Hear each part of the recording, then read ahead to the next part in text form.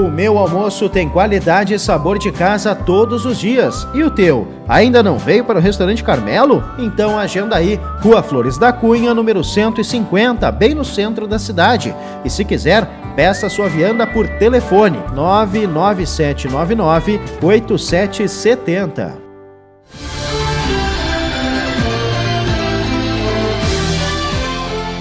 A oitava Semana Científica e Cultural da Escola Marta Pereira Barbosa vem encantando a comunidade tapense com as atrações lúdicas, criativas e divertidas. Ontem foi a abertura do evento, que logo iniciou e já está fazendo sucesso, pois além das atividades, há a integração de todas as escolas e e-mails da cidade. Amanhã, quarta-feira, a programação estará repleta o dia todo, confira.